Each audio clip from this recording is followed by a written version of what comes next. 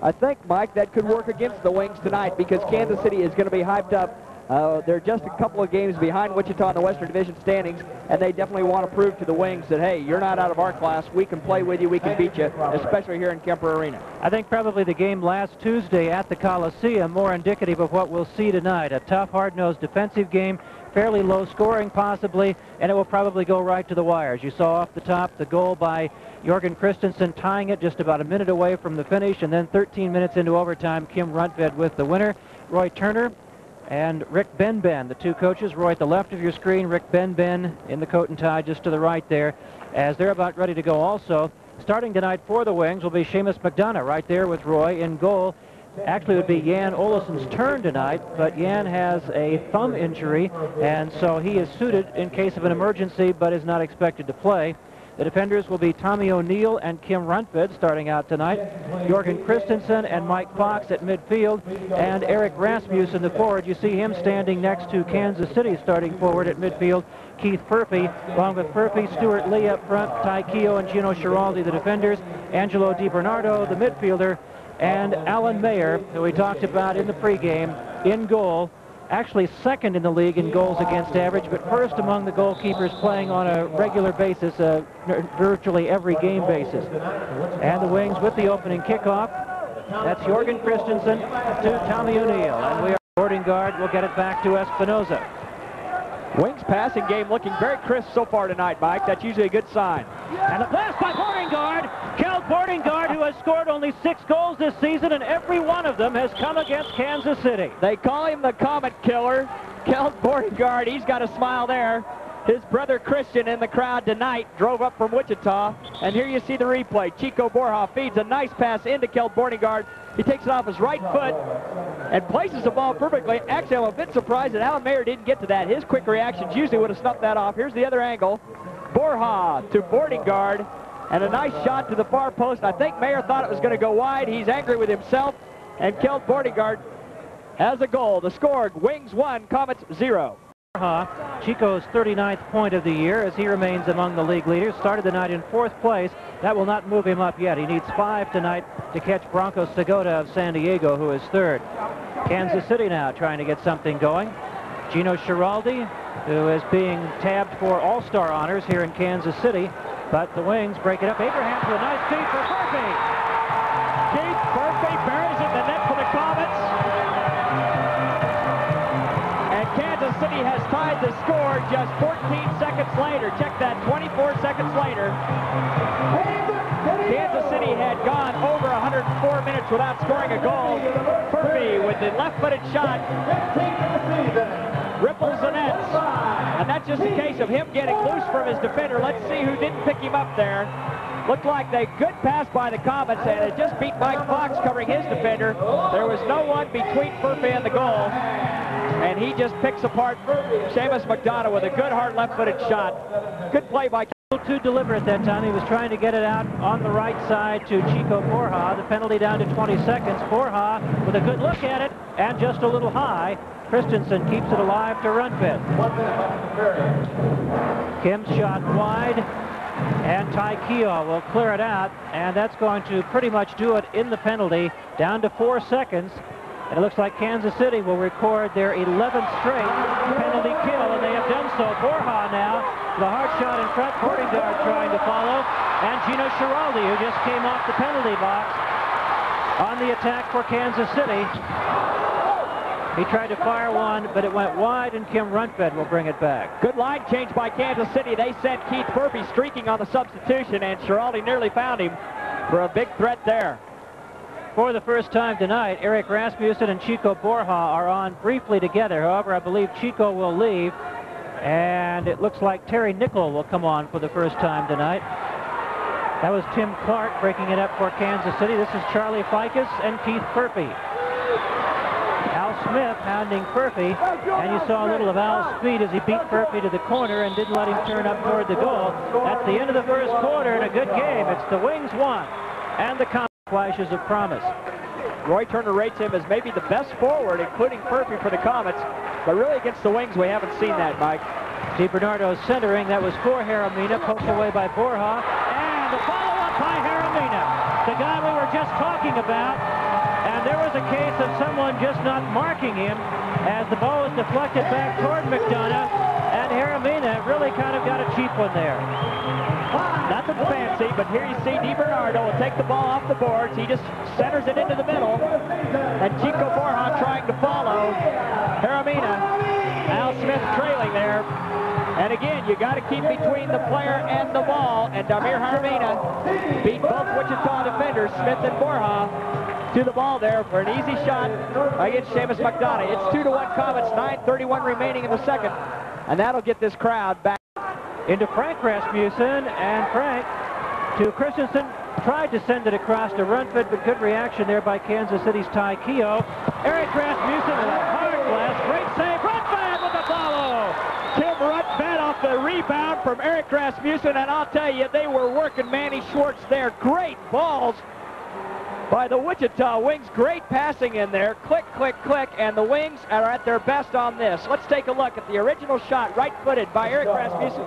Great save by Manny Schwartz, but he went all the way down, and Kim Roentved picks it up out of the air. I'll tell you, those are the hardest shots. You pick a ball up in the air, and you can see Schwartz is still down from the original shot. Look at this footwork by the Wings. Jorgen Christensen, back heel pass. Schwartz makes the save. The ball comes right back out to Roentved. He volleys it into the net. And I'll tell you, Wichita at their best right there. It's 2 to 2. The score tied. Espinoza that was on Kansas City. Kjeld Bordingard for the Wings. And he's got his third goal, or his second goal of the night, and his seventh against Kansas City. What is the deal with Kjeld Bordingard and the Comets? I tell you, he must play.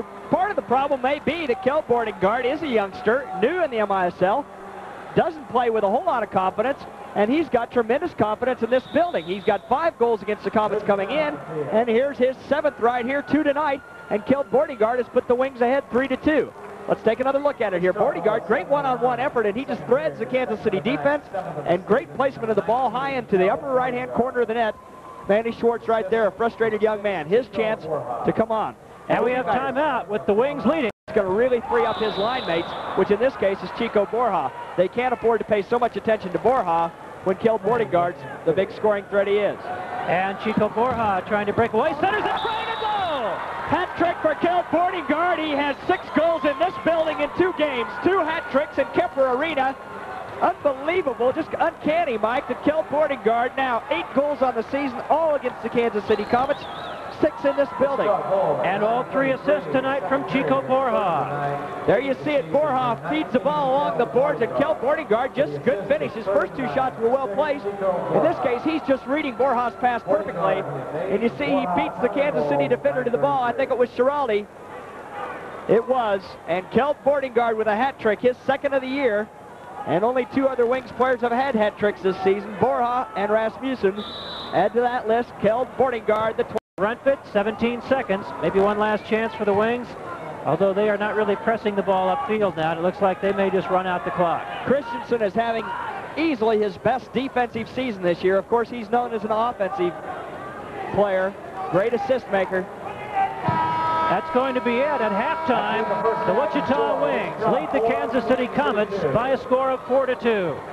It was Wednesday, January 8th, the night after a tough overtime win against the Kansas City Comets. The Wichita Wings, drained and mentally fatigued, had to come right back and face another battle, a battle somewhat out of their element. As one member of the opposing KQAM KEYN radio team shows us, this is volleyball. And in front of some 600 screaming Wings fans, just like soccer, the Wings cannot use their hands. We're going to have to try and use the feet with the, the head and the thigh and everything else that we can use to keep it up in the air. We don't get to use our heads, but we never get to use our heads. and just the battle of who uses their heads a little bit better than well, well, at least for them, for the Wings. Uh, we'll be using our tongues, whatever we can, you know, get out there to... well, uh, we might have a few of the old uh, overhead kicks, donkey kicks up at the net, you know, a few, uh, few of the trick plays coming out tonight, I think. The best two of three, the challenge, the Wings with feet and heads, the radio personalities with hands and whatever usage of the head they deem necessary. To the action, game one. The Wings had an 8-1 lead and blew it, although they tried everything, including some bench help. The radio guys a winner 15 to 13. Coach Tommy O'Neill not happy. Game number one. What should we be doing? What should We're attacking the net. We're not attacking the net, man. Everybody's got get behind the ball. Back to action, game two. The Wings still looking sluggish, even lost faith in their coach at one point. Carried Coach O'Neill out. The Wings lost the first one. They're coming back? They're going to win this thing? Yes, they are. How do they look tonight? A little flat, you think? good. No, they look good. They really do. They've been coming in with some slick moves. But then the Wings came alive. It was magical. Catch some of this action.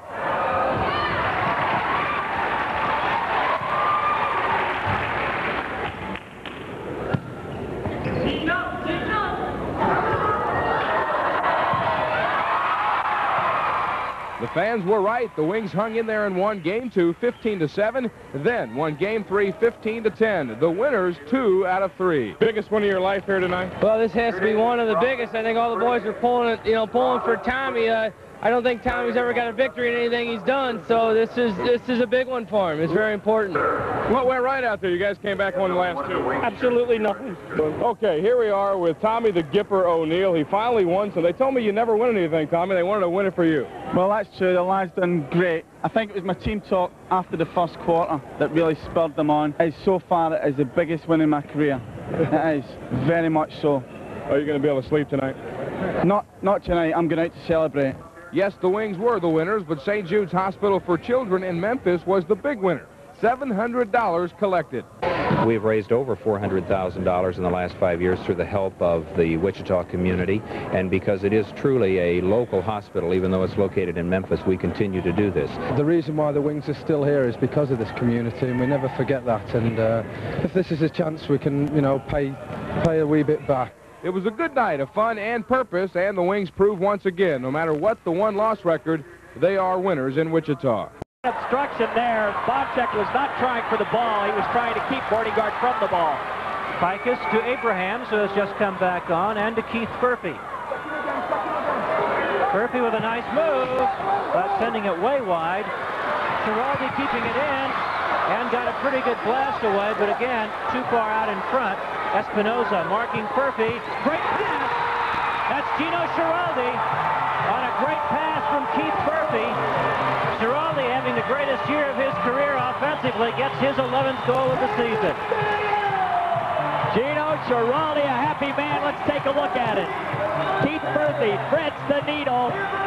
And Gino Schiraldi puts it away with a left-footed chip into the net. Really a deflection. Here's the other angle. Furphy, right-footed. In between Rasmussen and Espinoza. Schiraldi's there. A great pass really created there by Keith Furphy.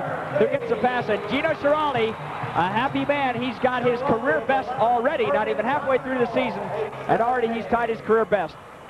We have a assist from Keith Furphy.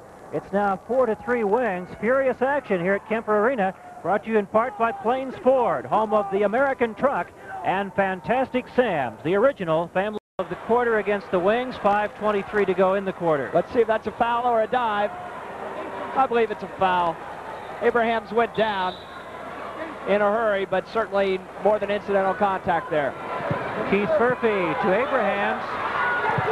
And Lloyd Abrahams ties the game with 5.18 to go in the third quarter. A beautiful goal by the Comets, and Kansas City has tied it.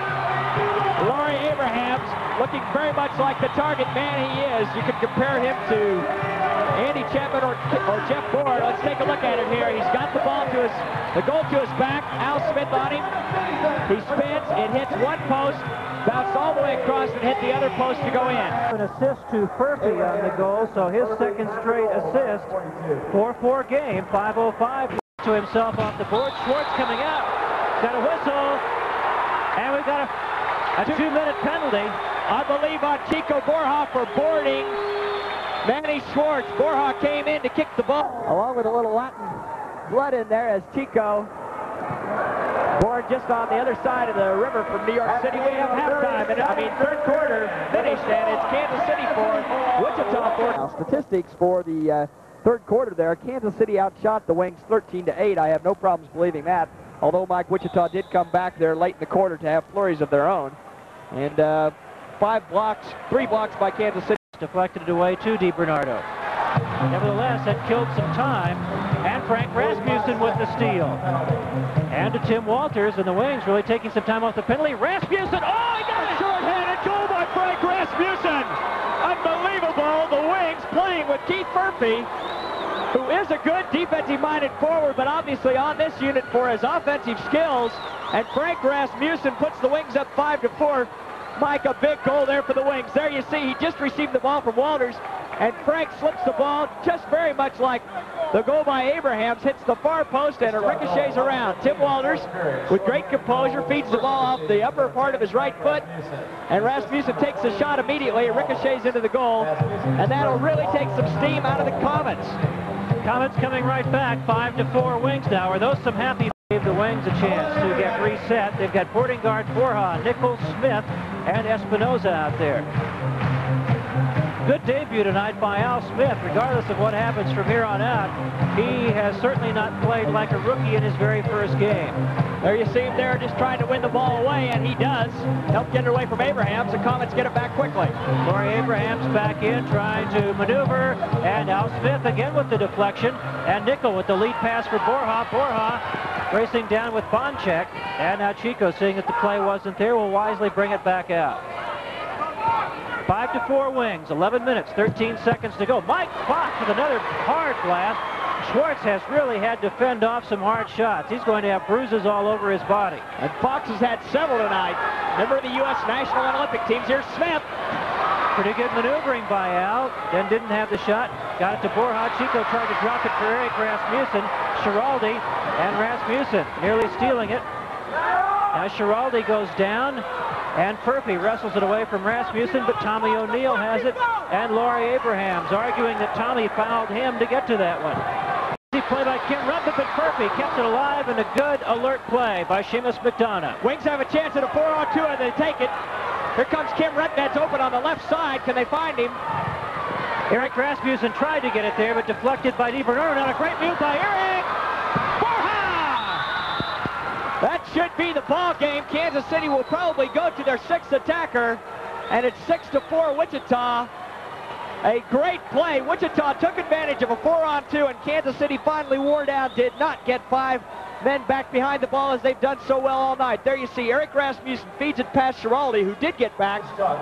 But Schwartz came out to cover Rasmussen, and it's cherry-picking time for Chico Borja for Borja, his fourth point of the night, and he's back in that league scoring race, his 22nd goal of the evening. 146 remaining, and that's a big, big goal. Now, the game not over yet. Kansas City certainly capable of scoring two goals in 146, but that's got to break their confidence a little as they fought so hard to get back in this game when they were down 4 to 2, and now it's giving Chico Borja a little stick on the field about making the U.S. team. Angelo DiBernardo, the sixth attacker, wearing the goalie shirt, and Kansas City scores as Furphy managed to get one through a crowd that I don't think Seamus McDonough ever got a very good look at. A long shot by Keith Furphy, a long distance, Keith, and he scores home. Let's see how this one happened. Furphy just past the red line, maybe 15 feet. The ball goes through one, two, three, four. Out on this one, they still got the sixth attacker pulled. And with the ball out of bounds, Kansas City will bring it back in. 133 to play. Don't turn your dials, oh, folks. We got a game still going. Up across the center line. Furphy blocked nicely by Frank Rasmussen. And DiBernardo wins the race to it, but now he'll have to circle back. Frank Rasmussen really hounding him. Tim Walters trying to help. Charlie Fajkus. And people going down all over the place. The foul is on the wings with a minute 15 to go in the game. That clock seems to be ticking awful slow for the Wichita Wings. 115 remaining, 6-5 lead. Kansas City with the sixth attacker, and they've already scored one. The Wings can attack at DiBernardo in goal, and they ought to. Right now, they're trying to kill a little time. Now Tim Walters down in the corner. And he is pounded hard into the boards by Margetic. No call. Margetic coming back the other way. Abrahams in the corner centering, but kicked away by George Espinoza. And a classical case of George Espinoza being in the right place. Seven seconds left. Roy Turner sitting on Terry Nicholl in place of Tim Walters. This is in essence a, a one-man extra penalty killing unit for the Wings. They've got people out there that are excellent defenders. They tried to lob it in front for Stuart Lee. It's out off of, I believe, Espinoza as he deflected the attempt.